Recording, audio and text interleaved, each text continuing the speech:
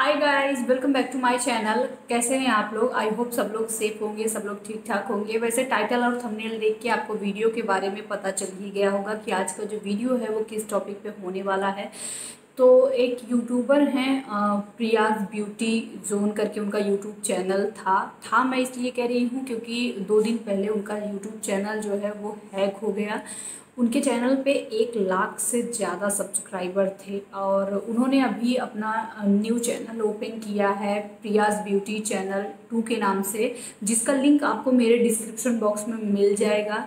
आप सोचे होंगे कि मैं ये वीडियो क्यों शेयर कर रही हूँ? तो मुझे पता है कि मेरी ऑडियंस बहुत छोटी है, बहुत कम है, लेकिन फिर भी जितनी है मैं चाहती हूँ कि आप लोग जाइए, उनके चैनल को सब्सक्राइब करिए और सपोर्ट करिए। और साथ ही साथ अगर आप लोग ट्विटर पे हैं, इंस्टाग्राम पे हैं तो आप लोग वहाँ पे उन्हें टैग करके और यूट्यूब को ट्वीट करिए या फिर मैसेज करिए, ताकि उनका जो चैनल है वो वापस आ जाए।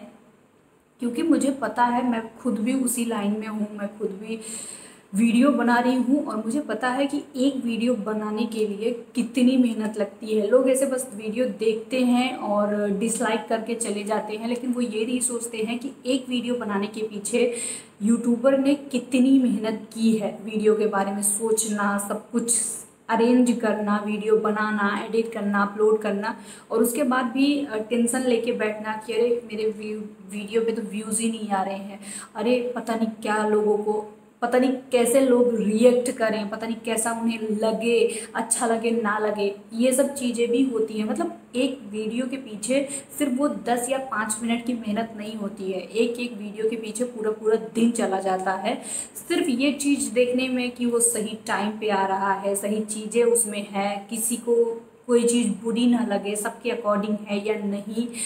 तो फ़िलहाल ये बात हर कोई कहता है, लेकिन बस ये है कि सब लोग समझते नहीं हैं कि एक वीडियो बनाने के पीछे कितनी मेहनत लगती है, जबकि ठीक है, जो जो अपना पर्सनल थॉट है जिसकी उसे हम चेंज नहीं कर सकते हैं। उनका चैनल हैक हुआ तो मैं उसके थोड़ी सी स्टोरी शेयर करना चाह रही थी। उनके चैनल के बारे में ऑलमोस्ट मुझे पता है, सभी लोग जानते ही होंगे, क्योंकि हंड्रेड के सब्सक्राइबर इतनी आसानी से आपको नहीं मिल जाते हैं कि आज आपने चैनल ओपन किया और कल आपको हंड्रेड के सब्सक्राइबर मिल जाएँगे, ऐसा नहीं है। वहाँ तक पहुँचने के लिए आपको बहुत मेहनत करनी पड़ती है, क्योंकि मैं कर रही हूँ मेहनत और मैं यही ट्राई करती रहती हूँ कि मेरा चैनल कितनी जल्दी ग्रो करे। वीडियोस पे व्यूज़ आए, मेरी रीच बढ़े तो मुझे पता है कि वहाँ तक पहुँचने के लिए उन्होंने कितनी मेहनत की होगी। मुझे याद है जब उनका पहला वीडियो वायरल हुआ था, जो कि था पॉन्स बेबी क्रीम और लैक्मी सीसी क्रीम का तो मुझे याद है कि उनका उसी वीडियो के थ्रू मैंने उनके चैनल को डिस्कवर किया था। उसके बाद ही मैंने उनका चैनल जो है वो सब्सक्राइब किया था, फिर मैं रेगुलर देखती थी। दो दिन पहले, परसों जब मैंने उनके चैनल का नोटिफिकेशन देखा उन्होंने कोई वीडियो मतलब जिसने हैक किया था, उन्होंने कोई वीडियो पब्लिश किया था तो मुझे वो थोड़ा सा अजीब दिख रहा था। तो मैंने सोचा कि ये पता नहीं कौन सी लैंग्वेज में लिखा हुआ है और ये कौन सा वीडियो इन्होंने अपलोड किया है। तो फिर मैं उस टाइम पे वीडियोस नहीं देख पाई थी, क्योंकि मैं अपना काम कर रही थी। मैंने बहुत बार शेयर किया, मैं ऑन टाइम वीडियोस नहीं देख पाती हूँ। तो जब टाइम मिलता है तो मैं वीडियोस देखती हूँ। तो मैंने उस टाइम पे इग्नोर कर दिया था, नहीं देखा था। फिर उसके बाद मैंने शाम को शाम को आई थिंक या कल सुबह, नहीं, शायद शाम को ही मैंने उनका चैनल ओपन किया तो मैंने देखा कि उस पर कुछ अजीब सा ही लैंग्वेज चल रहा था कि कुछ समझ में ही नहीं आ रहा था। तो फिर मैंने सोचा, हो सकता है कि वीडियो कभी कभी ऐसा होता है कि सही ना हो तो हम उसे प्राइवेट कर देते हैं क्रिएटर उसे प्राइवेट कर देते हैं, फिर दोबारा से हम उसे अपलोड करते हैं और पब्लिश करते हैं। तो मुझे लगा ऐसा ही होगा, लेकिन कल जब मैंने उन्हें इंस्टाग्राम पर देखा तो वहाँ पर उन्होंने अपने वीडियो का लिंक शेयर कर रखा था सारी चीज़ें बता रखी थी। तब मुझे समझ में आया कि, ओ, ये स्टोरी है कि इनका चैनल जो है वो हैक हो गया। हालाँकि मुझे डाउट हो गया था कि उनका चैनल हैक हो गया है, क्योंकि जब सम्राट भाई का चैनल हैक हुआ था तो उनके चैनल पे भी ऐसे अजीब सी लैंग्वेज में लिखा हुआ था, एक छोटा सा सिंबल बना हुआ था तो समझ में आ गया कि मुझे भी लगता है कि इनका चैनल भी हैक हो गया है। फ़िलहाल और उनका जो दूसरा चैनल है, उस पर उन्होंने शायद दो वीडियो अपलोड कर दिए हैं। कल इवनिंग में ही मैंने देखा था, आज नहीं देखा। लेकिन उनका जो पहला वीडियो है मतलब इतना वो रो रही हैं कि मैं क्या कहूँ, फ़िलहाल रोने वाली बात है। ये कोई हंसने वाली बात नहीं है कि किसी ने इतनी मेहनत की, उसके चैनल पे एक लाख सब्सक्राइबर हुए और उसके बाद उसका चैनल उसके हाथ से चला जाए तो उसे कितनी तकलीफ़ होगी कि उसकी मेहनत उसके हाथ से जा रही है, लेकिन वो कुछ भी नहीं कर पा रहा है। फ़िलहाल मैंने भी कई सारे लोगों को मैसेज किया है। मुझे बताना नहीं है, जताना नहीं है, लेकिन मैं बात बता रही हूँ कि सब लोग थोड़ा सा कोशिश करेंगे तो हो सकता है उनका चैनल आ जाए, क्योंकि नॉर्मली क्या होता है कि जब किसी का चैनल हैक होता है तो तीन से चार दिनों के बाद जो है, वो मिल जाता है। और कई लोगों के साथ ऐसा भी हो चुका है कि जिनका चैनल एक बार हैक हुआ, उनका चैनल दोबारा नहीं मिला है। तो फ़िलहाल इसी बात का थोड़ा सा डर है और कल तक मैंने देखा था तो उनके चैनल पे जो उनकी वीडियोस थी मतलब दिख रही थी कि हाँ वीडियोस हैं, भले उनका टाइटल, थंबनेल थोड़ा सा अलग हो गया था, लेकिन वीडियोस दिख रही थी। लेकिन आज मैंने सुबह चेक किया था तो उनके चैनल पे कोई भी वीडियो नहीं दिख रहा है मतलब कि कुछ भी नहीं है उनके चैनल पे, सिर्फ़ वही एक लाख सब्सक्राइबर हैं, बस इतना सा दिख रहा है।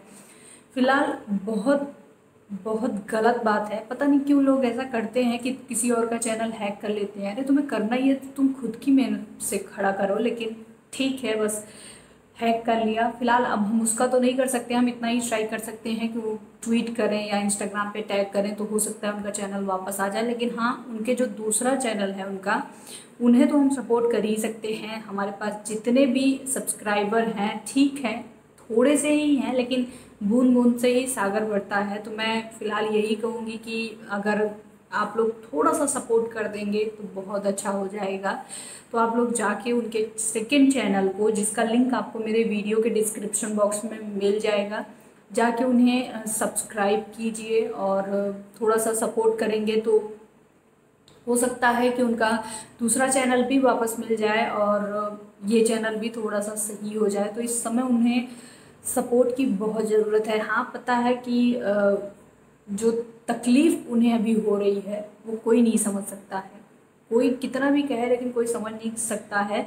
लेकिन जो क्रिएटर हैं, उन्हें ये चीज़ तो पता ही है कि एक वीडियो के पीछे जो मेहनत लगती है, वो हमें बहुत अच्छे से पता है कि हाँ जब एक वीडियो बनाने के लिए मुझे इतनी मेहनत लगती है तो सामने वाले को भी तो उतनी मेहनत लगती होगी। तो कम से कम हम इस चीज़ के लिए तो उन्हें अप्रिशिएट कर ही सकते हैं कि कोई बात नहीं, ले गया, जाने दीजिए। कम से कम अभी आपको सब लोग सपोर्ट करेंगे, आपका दूसरा चैनल है। अगर सब कुछ अच्छे से रहा, सब लोगों ने साथ दिया तो बहुत जल्दी ग्रो कर जाएगा, लेकिन खुद को ऐसे तकलीफ़ मत दीजिए। बाकी बहुत बुरा लगा था यार देख के कि मतलब कितनी तकलीफ़ में होंगी वो इस टाइम फ़िलहाल मैंने सच कह दूँ मुझसे ना ये जब कोई रोता है ना तो मुझे अच्छा नहीं लगता है। मतलब मैं खुद भी थोड़ी सी इमोशनल हो जाती हूँ। मैं वैसे भी बहुत ज़्यादा इमोशनल हूँ। तो मैंने उनका वीडियो ना देखा नहीं था। मैं सच बता दूँ, मैंने उनका वीडियो देखा नहीं था क्योंकि एक तो उनकी आँखें ना ऐसे बहुत बड़ी बड़ी सी हैं और जब वो रो रही थी ना, आँखें एकदम से ऐसे रेड हुई थी और मतलब बहुत बहुत बुरा लग रहा था।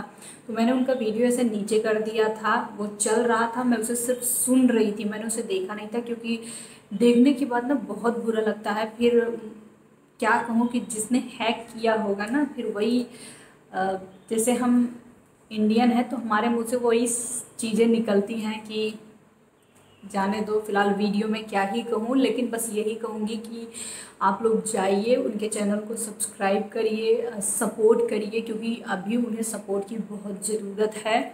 और हो सका सब कुछ सही रहा तो उनका चैनल भी हो सकता है जल्दी वापस आ जाए। मैं तो यही कहूँगी कि भगवान उनका चैनल बहुत जल्दी वापस आ जाए क्योंकि आ, मुझे तो सिर्फ़ एक चीज़ है कि कैमरे में आप किसी को देख रहे हो हाँ इन्होंने पाँच मिनट का वीडियो अपलोड किया, इन्होंने दस मिनट का अपलोड किया, पच्चीस मिनट का अपलोड किया एक बैठ के वीडियो ही तो बनाया है, क्या ठीक है? कई बार मुझे भी लोग कहते हैं हाँ मुझे भी लोग कहते हैं, मुझे अभी ये चीज़ शेयर नहीं करनी है, लेकिन सच में मेरी फैमिली और फ्रेंड्स में भी बहुत सारे लोग हैं।